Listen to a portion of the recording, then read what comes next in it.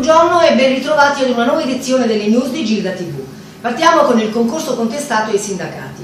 L'uscita dei bandi ha aumentato l'impopolarità del Premier Renzi e del Ministro Giannini, che sono stati oggetti in questi giorni di dure critiche.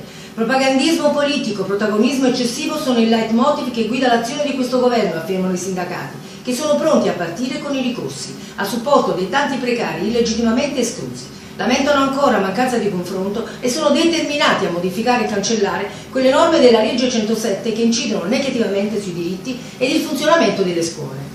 Rientra in questa linea di condotta il convegno nazionale organizzato dalla Gilda Insegnanti e l'Associazione Docenti articolo 33, la 107, profili di incostituzionalità e referendum, che si svolgerà a Roma il 16 marzo prossimo. Intervengono Rino Di Meglio, coordinatore nazionale, che conferma la lotta della Gilda agli aspetti più deleteri della riforma, Antonio D'Andrea, professore ordinario di diritto pubblico, Massimo Villone, già professore ordinario di diritto costituzionale, Fabrizio Reberscheg, presidente dell'Associazione Docenti Articolo 33 e Tommaso De Grandis, responsabile nazionale dell'ufficio legale della Federazione Gilda UNAMS.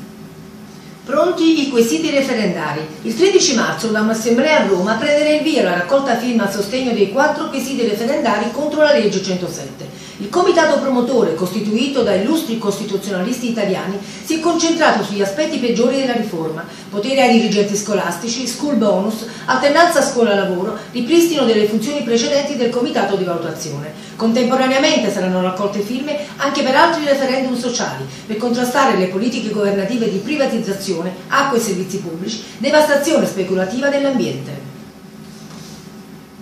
Bonus docenti e fotocopie.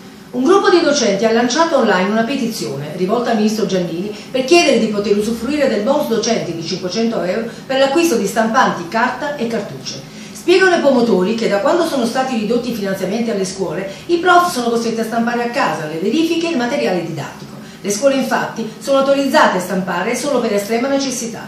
Successore tra i docenti della petizione che in meno di due giorni ha incassato più di 1500 firme. Nuova circolare sulle gite scolastiche. Polemiche e sdegno dei prof italiani sul nuovo ruolo imposto al docente dalla circolare emessa nei giorni scorsi dal direttore generale dell'ufficio educativo del MIUR Giovanna Boda che invita i docenti ad occuparsi durante le gite scolastiche, oltre che della sicurezza degli studenti, anche dello stato di salute del conducente e lo stato del mezzo di trasporto. La deputata del Movimento 5 Stelle Silvia Chimienti ha presentato un'interrogazione parlamentare al riguardo, chiedendo che la circolare venga subito ritirata perché assurda, offensiva nei confronti del corpo docente e quindi irricevibile.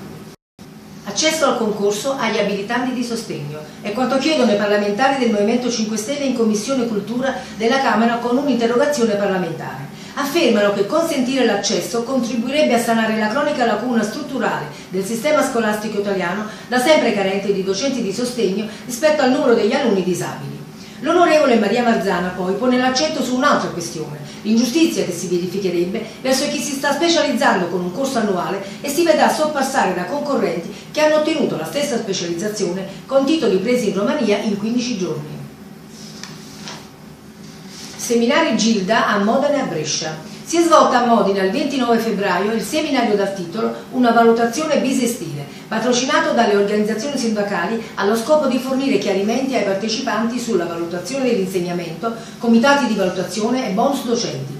Sono intervenuti Fabrizio Reberscheg, membro della Direzione Nazionale della Gilda Insegnanti e Associazione Articolo 33, Paola Serafin, direttore responsabile dell'Associazione CISDO Scuola, Mara Mallace della CGL. Il 29 febbraio anche a Brescia la Gilda locale ha organizzato un corso di formazione di tre ore per i docenti neoi messi in ruolo e di loro tutor. Il professor Gregorio Musumeci, coordinatore Gilda Brescia, ed il professor Claudio Oliva della Gilda di Lucca hanno illustrato ai presenti il bilancio delle competenze e le modalità di utilizzo della piattaforma Indire. Mobilità, i tempi. La pubblicazione dell'ordinanza ministeriale è prevista tra il 21 e il 26 marzo e riguarderà circa 250.000 docenti.